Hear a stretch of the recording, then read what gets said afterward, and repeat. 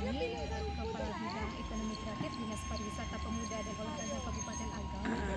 Dari kegiatan kemarin kan Bu eh, atas evaluasi narasumber eh, salah satu nagari Kamahilia untuk kolaborasi untuk wisata alam dan wisata budaya yang makan bajamba untuk di pinggir sawah. Bagaimana menurut Ibu dan eksposnya nanti untuk wisatawan? Iya. Untuk apa ya wisata budaya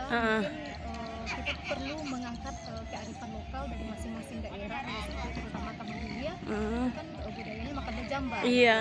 uh, bisa menjadi salah satu uh, atraksi wisata yang kita sajikan iya. uh, di saat uh, wisatawan datang gitu misalnya di saat wisatawan datang kita uh, misalnya kita sambut mereka dengan tambur tambur di Kamang juga ada Uh, ada juga. Hmm, kita sambut dengan tambur uh, nanti uh, pas mau apa makan siang atau makan Uh. ya makan siang kita uh, apa kan sediakan makan bejamba itu, Uh. itu merupakan uh, suatu daya tarik tersendiri bagi wisatawan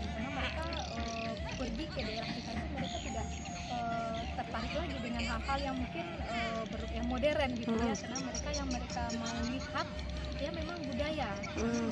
Agam ini memang kaya dengan uh, wisata budaya Iya. alam uh, kemudian dan juga kuliner Iya. tradisional kita di Iya. Kabupaten Agam Oh, iya. jadi kami berharap uh, ini memang uh, kalau dapat paket wisatanya dikemas Hmm. sedemikian rupa uh, dengan uh, memasukkan semuanya itu yang berbau hal budaya kearifan lokal yang ada di uh, kecamatan Kamang itu sendiri. Iya, baik. Bu. Terima kasih. Oke. Kamang TV Sabana Segiri. Saya Deviana Ridani dari kru Kamang TV bersama Adi Fatih Fauzan, biasa dipanggil Bang Fo, dari Sumbaraja. Oke, ya kita bersama Bang Fo di mana sekarang kita lagi di pantai Muatara, eh, Bandar Mutiara. Bandar oh, Bandar Mutiara. Mutiara, Kabupaten Agam. Kabupaten Agam. Perkenalkan diri dulu sedikit ya Bang Fo ya. Nagari kami itu sebuah nagari yang juga memiliki alam, sawah, bukit-bukit dan yang tak kalah pentingnya setelah kita diskusi yaitu wisata budayanya yaitu kearifan lokal.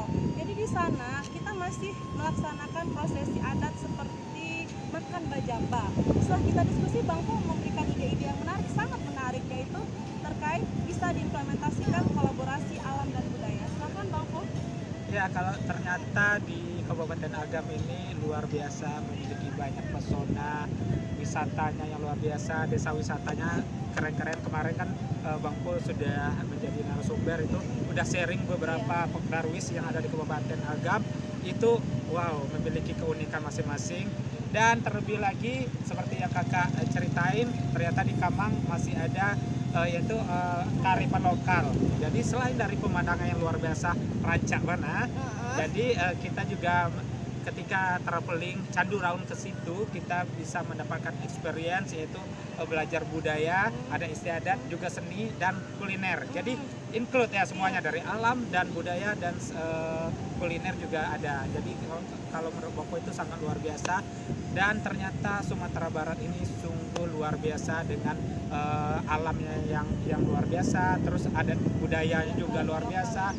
Dan belum lagi dari satu negari ke satu negara yang lain itu punya keunikan masing-masing. Jadi Iya. Bang Po kayaknya harus eh, Lebih ya lebih eksplor ke negari-negari yang Hmm. harus diangkat. Ya, di sini kita gunanya me- mengkolaborasikan budaya dan alam Hmm. untuk wisatanya. Jadi kemarin Bang Po menjelaskan ya ini untuk Densana Sadonyo di Nagari Kamahile kita bersama-sama agar program makan bajamba bisa diterapkan dalam wisata alam makan di pinggir sawah ya Bang Po. Ya, jadi Bang Po nunggu undangannya. Jadi kayak Oke. eh, kalau untuk Bang Po sih kayak eh, konten gitu itu eh, punya apa?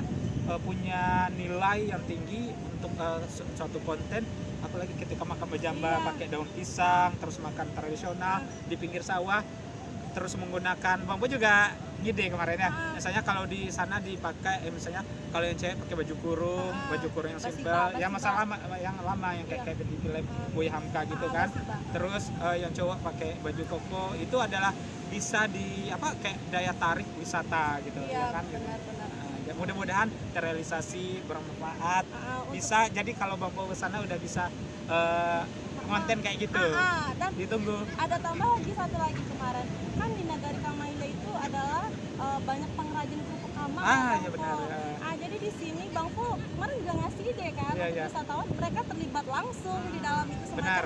teaching factory ya. ya ya Ah, benar jadi kayak eh, juga karena sebenarnya kalau setiap kali Bangpo berkunjung ke suatu daerah, Bangpo mempelajari eh, apa aja aktivitas di suatu daerah desa tersebut. Ternyata ada kerupuk, ada pembuat kerupuk. Jadi kalau produksi kerupuk yang biasanya dijual kerupuknya aja, sekarang eh, kemarin Bangpo kasih ide ingin dijual tuh proses, Ah, ah. mulai dari eh, bahan ba- bahan apa Bahan mentahnya, mentahnya, terus prosesnya. itu punya apa daya- nilai Nilai lebih tinggi. ya, lebih tinggi aktivitas. Jadi orang nggak hanya beli jadi punya aktivitas. Nah sebenarnya kan eh, bisa aja dikemas semenarik mungkin. Saya kalau menurut Bang Fuad pribadi sih selain berkunjung melihat eh, suatu suatu pemandangan eh, ilmu yang bisa didapat adalah kearifan lokal tersebut mulai dari budaya seni dan juga ada istiadat bahkan kuliner itu adalah punya da- daya jual yang luar biasa Untuk narasumber eh, siang hari ini eh, eh, kita bersama Om EJK, Erison Jakambari.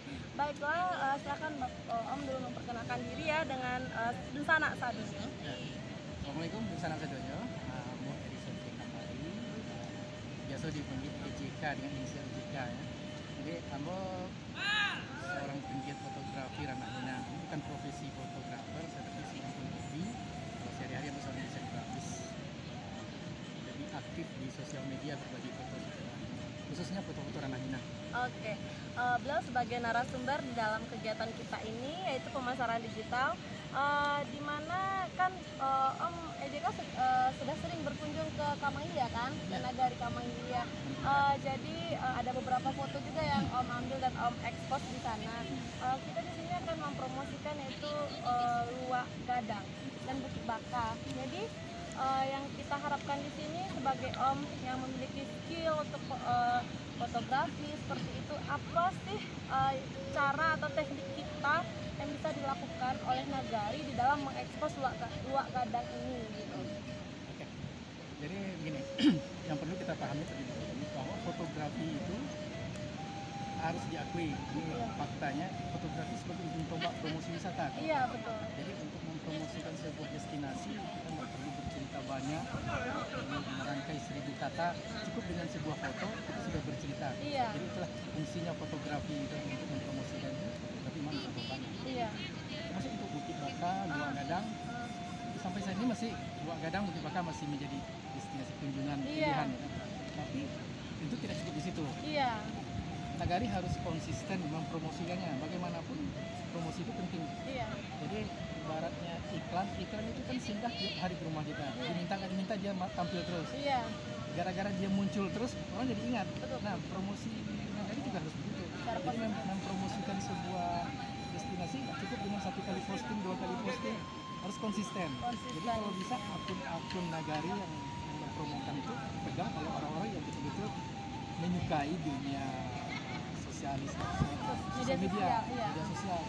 Jadi mereka bisa konsisten gitu. Iya, iya. Itu yang itu yang penting dulu. Terus bagaimana cara menampilkan foto-foto supaya daya tarik sendiri? Bisa lakukan lomba foto. Oh lomba foto. Iya, Ah, bisa lomba iya. foto. Atau kita diskusi ya, kalau bisa ditambah ada atraksi seperti Iya. randai sile gitu. Dan sekarang fotografer rata-rata eh, mereka tertarik untuk datang ke sebuah titik ada lomba foto misalnya. Oh, Kalau nggak ada lomba, ya itu nggak terlalu.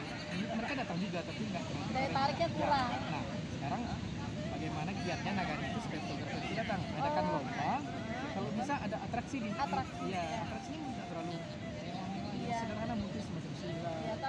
Di Iya, sana. atau kegiatan orang perakit Oh. atau mungkin pakaiannya mungkin pakaian seisu atau apa gitu kan iya, itu iya. menjadi objek foto yang menarik Ah, nggak perlu foto eh, itu foto foto-foto fashion fashion yang mewah nggak Iya, gitu iya, iya. itu justru menghilangkan pesona Iya, daerahnya. pesona daerah Ya, tampilkan kearifan lokalnya itu pakaian adatnya